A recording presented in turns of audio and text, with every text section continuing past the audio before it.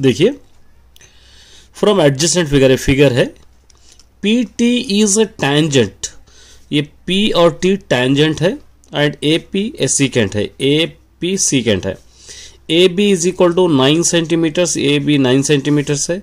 B P three centimetre है। Find the A P T आपको find out करना है। बहुत सिंपल सा क्वेश्चन है देखिए।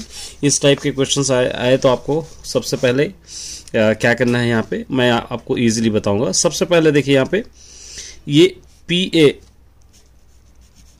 दो पार्ट्स है इसके अंदर। पी ए एक पार्ट है और उसी तरह यहाँ पर पी बी एक पार्ट है। P A into P B is equal to ये पी टी स्क्वायर इस तरह लेंगे हम। बाय द पाइथागोरस थ्योरम में आप आ, ले सकते हैं। पी टी स्क्वायर इसको सपोज़ नंबर वन दे देंगे। अब यहाँ पर आपको गिवन है। P A is equal to given है। ये पी ए थ्री और नाइन मिलाएँगे तो कितना हो जाएगा ये? ट्वेल्व हो जाएगा। पी ए ट्वेल्व हो जाएगा। और पी बी आपको पता ही है पी बी यहाँ पर आपको थ्री है। ये पी बी थ्री तो यहाँ पर P A is equal to देखिए, ये P A is equal to क्या होगा? ये दो पार्ट्स है यहाँ पर। दोनों पार्ट्स है। क्या क्या है यहाँ पे? P A plus P B हम ऑलरेडी यहाँ पर हम करें P A is equal to ये दोनों को ऐड करें ट्वेल्व आ गया यहाँ पे। या इस तरह भी आप लिख सकते हैं P A is equal to A A B plus B P इस तरह भी आप लिख सकते हैं तो नाइन प्लस थ्री ये ट्वेल्व हो जाएगा। इस तरह आप इसको ले सकते हैं। तो P A is equal to यहाँ पर आपको ट्वेल्व आ गया, ये हम ऑलरेडी लिख लिए। अब यहाँ पर फ्रॉम वन से अगर ले लेंगे फ्रॉम वन हमारे पास क्या है देखिए वन है P A into P B is equal to P T square है। ये पी ए ट्वेल्व है इंटू पी बी थ्री है, यहाँ पर। ठीक है? Is equal to A P T square हो जाएगा। ट्वेल्व थ्री ज़ा thirty six is equal to P T square thirty six को six square is equal to P T square आप लिख सकते हैं। ये दोनों cancel P T is equal to क्या हो जाएगा यहाँ पे? सिक्स ये। इस तरह आप इसको लिख सकते हैं। ठीक है? चलिए नेक्स्ट देखेंगे। सब एक क्वेश्चन यहाँ पर देखिए। The curve surface area of sphere sphere है कर्व सरफेस एरिया इसका नंबर सेकंड लेंगे। एक स्पीयर है, इस तरह का स्पीयर है, और इसका रेडियस है।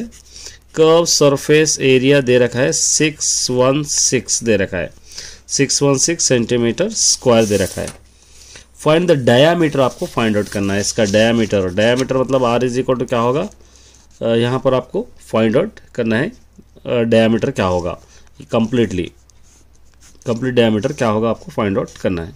तो सबसे पहले आपको curve surface area of sphere का फॉर्मूला आपको याद रहना है। स्पेयर का फोर पाई आर स्क्वायर ठीक है? फोर पाई आर स्क्वायर यहाँ पर four pi R square is equal to question में गिवन है six one six six one six से गिवन है, ठीक है? अब यहाँ पर फोर इंटू पाई की value twenty two by seven into ये R square is equal to six one six इस तरह लिख सकते हैं। यहाँ पर R square is equal to ये सिक्स वन सिक्स इंटू ये इस तरफ़ आके उल्टा हो जाएगा one by four into a seven by twenty two हो जाएगा। अब इसको चाहे तो कैंसिल कर सकते हैं टू थ्री ज़ा थर्टी ज़ा टू थ्री ज़ा सिक्स टू थर्टी ज़ा सिक्सटी टू थ्री ज़ा सिक्स टू टू ज़ा फोर टू थर्टी ज़ा सिक्सटी टू एट ज़ा सिक्सटीन फिर टू वन ज़ा, टू वन ज़ा, टू टू फिफ्टीन ज़ा, थर्टी, टू फोर ज़ा, एट, टू वन ज़ा, टू टू सेवन ज़ा, फोर्टीन, टू सेवन ज़ा, fourteen. R square is equal to, क्या बच जाएगा यहाँ पे? Seventy seven by into seven by eleven. Eleven one ज़ा, एलेवन सेवन ज़ा। R square is equal to, ये सेवन स्क्वायर हो जाएगा। ये दोनों cancel, R is equal to क्या हो जाएगा? सेवन। तो यहाँ पर आपको डायामीटर लेना है। डायामीटर का मतलब क्या होगा? Diameter is equal to two R होगा। आर का double two into a seven two seven से क्या होगा? ए फोर्टीन इसका डायामीटर सेंटीमीटर्स एक और क्वेश्चन है, देखिए यहाँ पर। यहाँ पे क्या दे रखा है? If sine A plus cos A is equal to root given है। थर्ड है। Sine A plus cos A is equal to root two given है। Sine A into cos A मालूम करना है। बहुत सिंपल सा क्वेश्चन है ट्रिग्नोमेट्री का है। देखिए, इसको हम क्या करेंगे? स्क्वायरिंग ऑन बोथ साइड करेंगे। तो क्या होगा ये? Sine A plus cos A square is equal to root two square हो जाएगा ये। ये A plus B whole square में आप लिखेंगे। A square plus B square plus two A B इस फॉर्म में आपको लिखना है। ए स्क्वायर हो जाएगा sine square A B square हो जाएगा cos square A plus two A B होगा, two sine A cos A is equal to square root cancel होगा, यहाँ पे बच जाएगा टू ये टू होगा। अब यहाँ पर आपको ये वन हो जाएगा sine square A plus cos square is equal to one plus two sine A cos A is equal to two यहाँ पर आप क्या कर सकते हैं अब इसको two sine A sine A sorry sine A cos A is equal to two इसको इस तरफ़ ला लेंगे minus one two sine A cos A is equal to इन दोनों को माइनस करेंगे one sine A cos A is equal to one by two यही answer आपको बताना है। देखिए, यहाँ पे क्या दे रखा है? मीडियन फाइंड आउट करना है इसका। देखिए, ऐसे सिंपल क्वेश्चन भी आपको दे सकता है। कहीं आप गुमान में रह जाएँगे कि लॉन्ग की क्वेश्चन देगा। तो यहाँ पर आपको लिखना है मार्क्स मार्क्स लिखना है number of students number of students और यहाँ पर आपको क्यूमुलेटिव फ्रीक्वेंसी आप इस तरह लिख सकते हैं, ठीक है? और इसको मैं शॉर्ट फॉर्म में बताऊँगा, क्योंकि ये शॉर्ट क्वेश्चन है, इसलिए शॉर्ट फॉर्म में। यहाँ पे two five six eight ten ये गिवन है, ठीक है?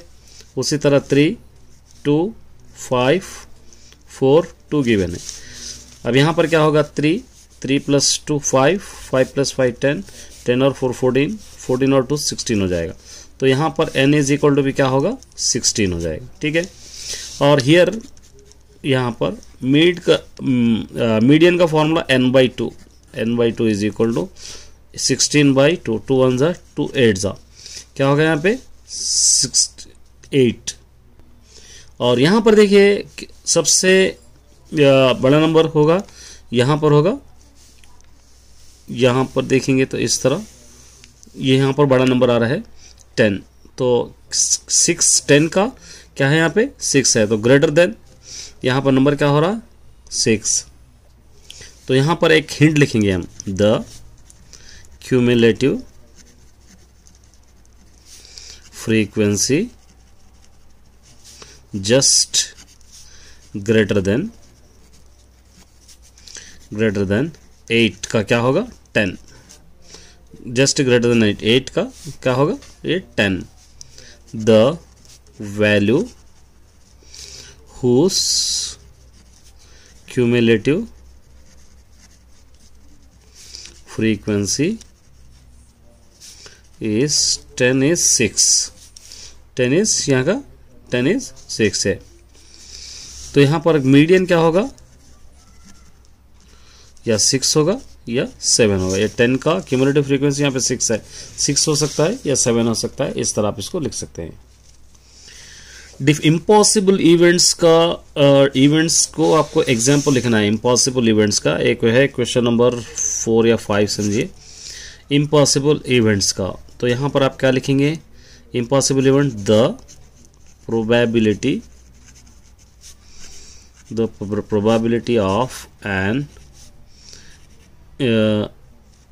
event probability of event is 0 then it is called impossible events. Impossible event मतलब जिसका ज़ीरो होगा, वो क्या होगा? इम्पॉसिबल इवेंट्स होगा। तो इस तरह आप इसको लिख सकते हैं एक डेफिनेशन के तौर पर। Give the give two example of pair similar figure and non similar figure दो एग्जाम्पल्स लिखना है similar figure non similar figure मतलब same figure non similar figure का। तो सिमिलर फिगर का एक एग्ज़ाम्पल लिखेंगे। सिमिलर फिगर सिमिलर फिगर का क्या होगा? टू स्क्वायर्स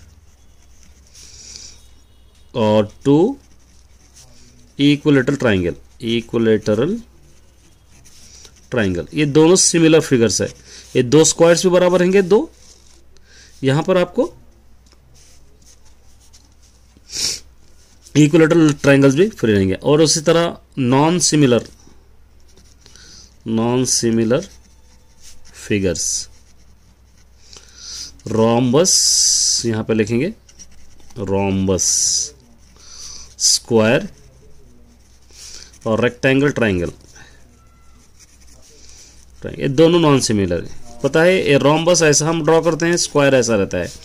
ये रेक्टेंगल ऐसा होता है रेक्टेंगल इस तरह होता है और ट्राइंगल इस तरह होता है तो नॉन सिमिलर ये दोनों सिमिलर